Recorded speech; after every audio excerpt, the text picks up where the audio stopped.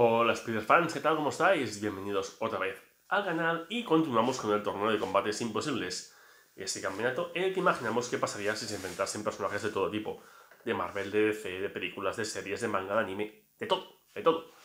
Pues bien, hemos llegado a el inicio de la ronda 2. Ya se han eliminado 128 personajes, una barbaridad.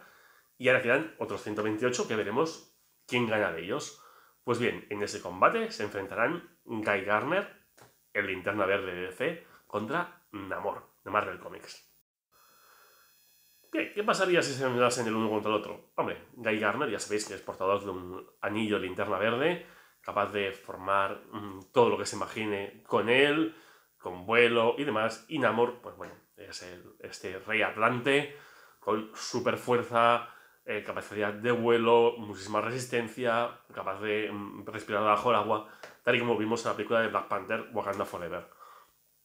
¿Qué pasaría si se enfrentasen el uno contra el otro? Hombre, pues yo creo que Guy Garner, de primeras, alzaría el vuelo y utilizaría algún objeto, pues un bate o lo que fuese, con su anillo verde e intentaría golpear a Namor. Namor tendría las opciones o parar el golpe, porque yo creo que sería capaz de parar un golpe de santidad, o echar a volar, que es lo que creo que, creo que haría realmente.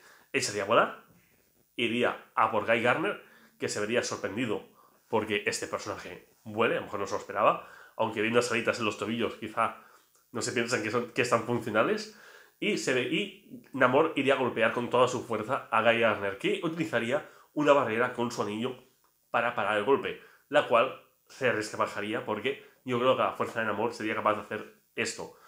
Guy Garner se daría cuenta entonces del peligro de Namor y utilizaría em, su anillo para coger a Namor y lanzarlo al espacio o lanzarlo muy fuerte contra el suelo.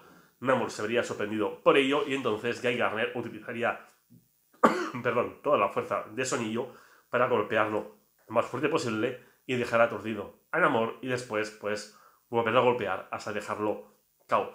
Pero no creo que lo dejase ni respirar. Incluso a lo mejor haría una burbuja en su cabeza para quitarle el aire, lo lanzaría al espacio, pero viendo que es capaz de romper una protección de su anillo con un golpe, yo creo que Garner no dejaría que, que Namor ni lo tocara.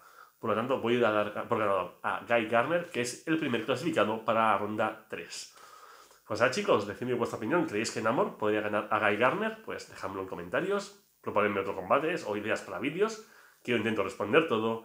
Y si os ha gustado, dadme un like, suscribiros y hasta la próxima. Saludos, amigos.